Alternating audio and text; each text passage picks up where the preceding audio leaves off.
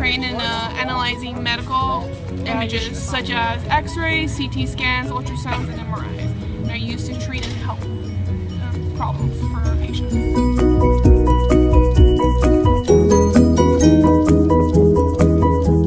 be competitive.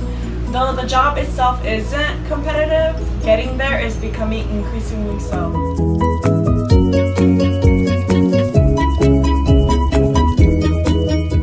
Radiologist salary range from 360,000 to $461,000, depending where you live or what kind of radiologist you want to be.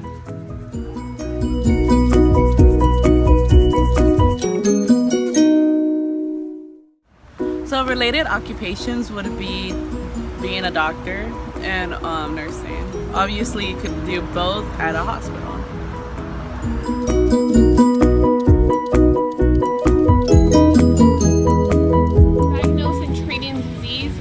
On images. Work side by side with the primary doctors to recommend treatments based on the images that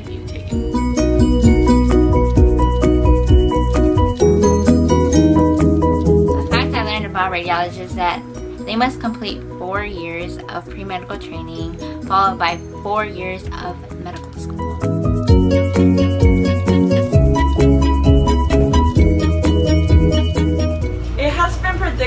Number of participants for this job will increase 9 to 14 percent from 2014 to 2024.